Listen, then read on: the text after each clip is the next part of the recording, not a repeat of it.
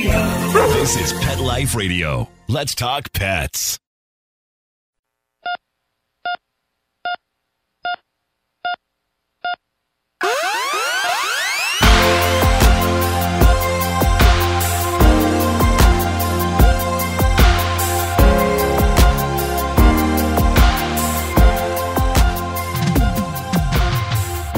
Welcome to ER Vet on Pet Life Radio.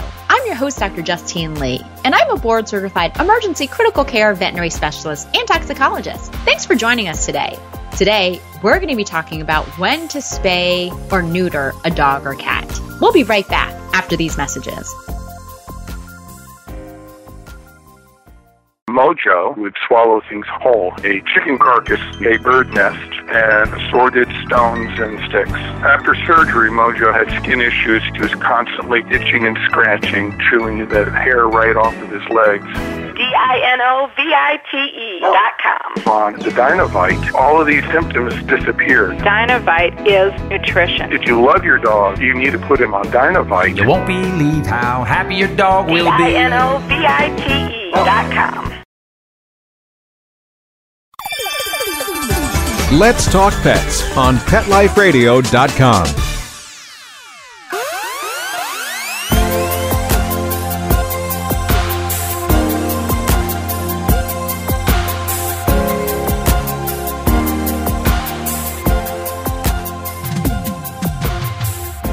Welcome back to ER Vet on Pet Life Radio. Today, we're going to be talking about when to spay or neuter your dog or cat.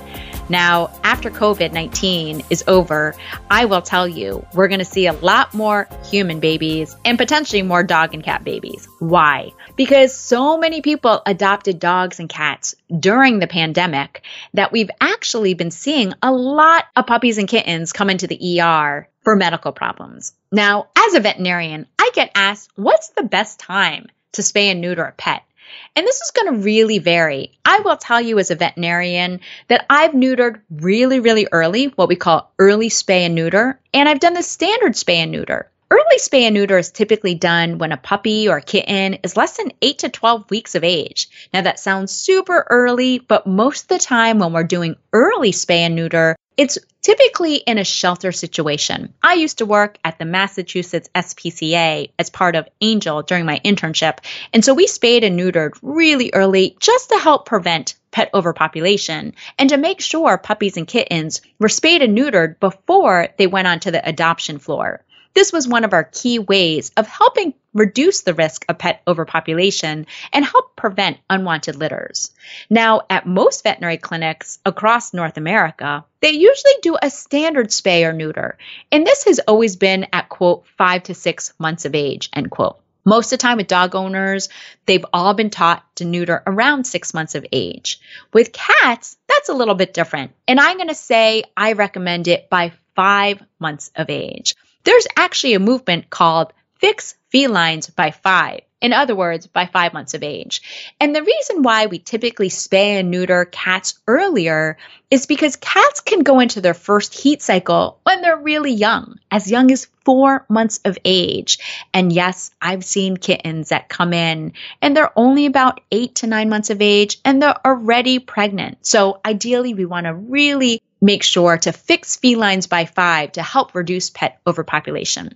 Now, again, in cats, it's going to be earlier, but we want to quote, beat the heat. And the main reason why is during springtime, we end up seeing a lot of unspayed females go into heat and have lots of kittens. Now, while there's no easy statistical mathematical way of proving how many cats or kittens can come out of one cat, I'm going to say the estimate is anywhere between 10,000 or more. That's right. Because when one cat has seven kittens and each one of those kittens, even if 50% are female, go on to have seven more kittens and those seven kittens have seven more kittens, it becomes exponential on how much pet overpopulation we can see. So that's one of the reasons why a lot of shelters will do early spay and neuter. Again, most veterinarians are going to do standard spay and neuter at about five to six months of age. But I'm going to say that's changed dramatically within the past few years. And that's because there's been a couple of new controversial studies that have come out looking specifically at dogs. Now, there was a study that came out of UC Davis several years ago looking at golden retrievers, and this study suggested that spaying or neutering later in life may have some potential health benefits. However, this was only one study looking at one breed of dog, and there's probably some outside factors that can't be included when researchers are doing some of these studies. For example, I always say some of my best pet owner patients are really compliant. They're always going to bring their dog in for their vaccines. They're going to spay and neuter when recommended. So we can't always evaluate the environmental or socioeconomic aspects that go into some of these research studies. But I will tell you that my philosophy and what I do for my own dog is that I like to spay or neuter when the growth plates are almost closed. Now, that's a tricky question because obviously dogs vary in size from tiny teacup chihuahuas to huge Great Danes. We're talking five pounds up to 200 pound variations in dog sizes. We know that most of the time, the smaller the dog, the sooner their growth plates will close. That's totally different from huge giant breed dogs that are going to have growth plates that close much, much later. Unfortunately, there's no studies looking at whether or not delayed spay or neuter actually helps in our feline friends. But again, I generally stick with that fixed felines by five just to help reduce pet overpopulation. I want to step back for one second and say, what exactly is spaying and neutering? I've heard all different terms for this, but most pet owners don't even know what we're doing when we're doing these surgical procedures. So to clarify, a spay is when we're removing a female's ovaries and uterus. So we only use the term spay with female dogs or cats. We use the term neuter with dogs. When we say spay, it's generally removing the ovaries and uterus, although more recently, some people are actually just removing the ovaries, what we call an ovariectomy versus an ovariohysterectomy. When we neuter dogs, that's when we're actually removing the male's testes. So we only use this term in dogs. So, what are the benefits of spaying and neutering? I'm a huge advocate of spaying and neutering, and the main reason why is not only does it reduce that risk of pet overpopulation, like I mentioned before, but it does actually help improve overall health. There are a lot of studies that are a couple of decades old that show that when we spay and neuter, it helps reduce the risk of mammary or breast cancer. Yes, that's right. Dogs and cats get breast cancer too. Now, in dogs, breast cancer is aggressive about 50% of the time. The other 50% of the time, it's usually benign. So, whenever you notice any kind of mass along the mammary chain, you always want to have it removed surgically so we can evaluate whether or not it's dangerous or not. That's different than cats. If you're palpating your cat's belly and your cat's not spayed and you feel a mass or a lump or a lump the size of a pea near the mammary gland, 90% of the time, that mass is really malignant and aggressive. It's breast cancer. And that's typically what we call mammary adenocarcinoma. It's usually fatal. And that's one of the reasons, again, why I'm such an advocate of fixing felines by five, because we want to prevent that first heat to help minimize that risk of your cat developing breast cancer. Another benefit of spaying and neutering is because it really helps eliminate unwanted behavioral issues. If you've ever had a dog in heat or a cat in heat, you'll notice some behavioral problems. In fact, I've actually had multiple owners pay the $150 exam fee at the ER vet to bring their cat in and say, something is wrong with my cat. And when I ask more history, when I look at the cat, their cat is rolling on their back, trying to run outside. They may be inappropriately urinating. They're howling. They may be spraying. They're super affectionate. And it's because they're going into heat. So sometimes that behavior can be eliminated by spaying and neutering. Now, I will also say that when we spay and neuter, the younger we do it, the faster that pets actually recover. They usually have a shorter surgical and anesthesia time. We can see into their abdomen better because pets are smaller or there's less body fat. Again, dogs and cats bounce back so quickly from spaying or neutering as compared to humans. And that's because we provide good pain control, heat support, and monitoring. But in general, most cats or dogs are back on their feet within 24 or 48 hours, unlike humans who take weeks to recover. Another benefit of spaying and neutering is it really helps minimize some unwanted behavior. If you've ever smelled tomcat pee, then you know why we neuter. By neutering cats and dogs, it really helps eliminate some behavioral issues like spraying urine all over your walls or in dogs, marking your whole backyard. In other words, they pee, release a small stream every couple of minutes all around the yard to help mark their territory. So, when in doubt, talk to your veterinarian about when to spay and neuter. Remember, it's going to help reduce that risk of pet overpopulation. It's going to really help prevent unwanted litters. It's going to help your pet's overall health and reduce the risk of breast cancer. It's going to help eliminate behavioral issues like spraying or fighting or marking. And remember, younger pets generally recover from surgery and anesthesia much, much quicker. We'll continue with this really important topic right after these messages from our sponsors.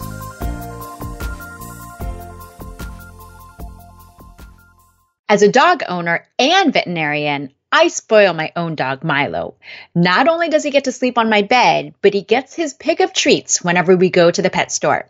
I want to take great care of him as he pays it back tenfold in loyalty and affection. I want to keep him as happy and healthy as possible. That's why I like to give him a dental treat that offers more. Daily Dose is a two in one dual benefit dog chew that supports dental hygiene and full body health. With Daily Dose, your dog gets a daily dental scrub and powerful supplements to help with the biggest health concerns facing our dogs. Daily Dose was developed by veterinarians to be simple to use and super effective. Plus, dogs love the taste. It comes in four types, available for joint, skin, heart health, or calming. What I like about them, they have ingredients that I'd recommend as a veterinarian, and they're made in the USA. To help keep your dog happier and healthier, try Daily Dose because one chew a day may keep your veterinarian away. Visit yourpetsdailydose.com to save $3 on your first bag with promo code ERVET. That's E R V E T. It's more than a treat, it's a treatment. One chew a day for happier, healthier dog ears.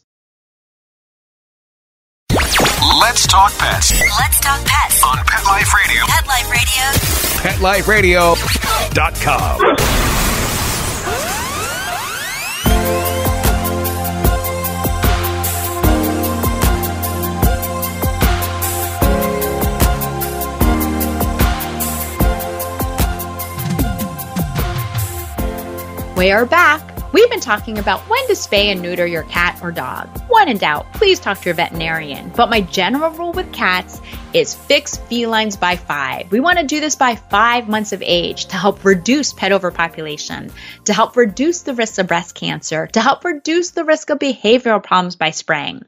What about dogs? Now, previously I talked about this UC Davis study that came out looking at golden retrievers and the effects of spaying and neutering. And interestingly enough, this study was very controversial in veterinary medicine because a lot of veterinarians didn't know how to interpret it. In this study, they looked at golden retrievers, and in subsequent studies, they looked at Labrador retrievers and German shepherds. And what they actually found was that neutering or spaying before one year of age was associated with increased risks for joint disease or even certain types of cancer. The hard thing is, again, that study was only looking at one or two breeds of dogs. Well, more recently, there was a study that came out of UC Davis again looking at 35 dog breeds. And in this study, they looked at dogs over a 10 year period. This study was published in the Frontiers in Veterinary Science, so you can Google it to find it. But what was interesting was there wasn't one size fits all recommendations when it comes to spaying and neutering. What they found was different from the Golden Retriever initial study. They found a huge disparity between different breeds. Some breeds developed problems when they were spayed early and some didn't. Some dogs developed joint disorders, but not cancers when they were spayed or neutered early. So it really varied quite a bit. The point of it is this study looked at different types of cancer like lymphoma, hemangiosarcoma, mast cell tumor, osteosarcoma. It looked at joint problems like hip dysplasia, ACL tears or what we call cranial cruciate ligaments, and elbow dysplasia. And the hard thing was when they looked at more and more breeds, what they found in general was that smaller breeds often didn't have joint disorders, while the majority of big breeds like Great Danes, Irish Wolfhounds, German Shepherds, they did tend to have joint disorders. This is obviously going to be affected by nutrition and genetics. What they did find was interestingly enough, two giant breeds, Great Danes and Irish Wolfhounds, had no increased risk to joint disease when they were neutered at any age. They also found that certain types of cancer in small dogs was relatively low, whether or not the dogs were neutered or kept intact. In the Boston Terrier and the Shih Tzu, however, they did find that there was a significant increase in cancer with neutering. Now, I know this is super confusing, but I will say that based on this information, there's a paradigm shift in veterinary medicine in dogs to potentially wait beyond that six month number when it comes to neutering or spaying a dog. So, so my general recommendation is talk to your veterinarian. Again, this is multifactorial. It's nutrition, it's genetics. So, there's no firm number I'm going to say in dogs. In cats, yes, they need to be spayed at five months or neutered before five months of age. But when it comes to dogs, I generally say the bigger the dog, the longer I'm going to wait. In my own personal dogs that I've had, I usually neutered them between seven to nine months of age when I felt like their growth plates were almost closed. When in doubt, talk to your veterinarian. The jury is still out when it comes to dogs and spaying and neutering. But remember, when we do spay and neuter, it really does help reduce a lot of unwanted medical and behavioral problems. Again, it helps reduce pet overpopulation. It helps improve overall health. It helps eliminate unwanted behavioral issues. And remember, dogs and cats recover really quickly when they're spayed and neutered. They do very well from the surgery.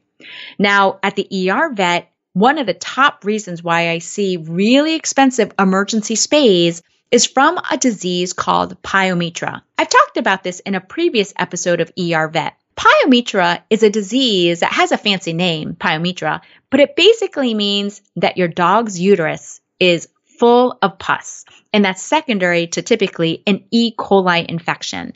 I typically see this in seven to 10 year old smaller dogs. A pyometra is a life threatening emergency.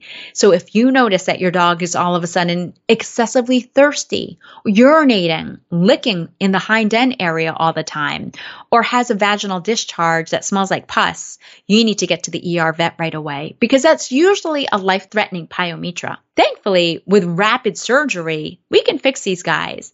But the cost for an emergency ovariohysterectomy can sometimes be several thousand dollars compared to a couple hundred dollars for spay when your pet is healthy and younger. So we know that the majority of older female small dogs will often develop this pyometra when they're intact.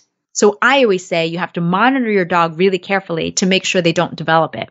It's typically seen 8 to 12 weeks after their last heat cycle. So if you're able to monitor them appropriately, especially several months after they go into heat, then most of the time you can catch it relatively early. But it can be a several thousand dollar surgery at the ER vet. When in doubt, again, talk to your veterinarian about fixing your feline by five or waiting until the growth plates are closed when it comes to certain large breed dogs. With golden retrievers, I might consider neutering them a little bit later in life, maybe around 9 months to 12 months of age, but the jury's still out. There's still a lot of literature that needs to come out. So please talk to your veterinarian when it comes to this important decision to spay and neuter your pet. Well, that brings me to the end of today's show. Find me at drjustinelee.com, on Facebook or Instagram at drjustinelee, or email me at drjustine at petliferadio.com. And if you like the episode, please take the time to write a five star review on Apple Podcasts or wherever you're listening. With that, we're out of time, and we want to thank Mark Winter, our producer, for making this show possible. See you at the next episode. Let's Talk Pets every week on demand, only on PetLifeRadio.com.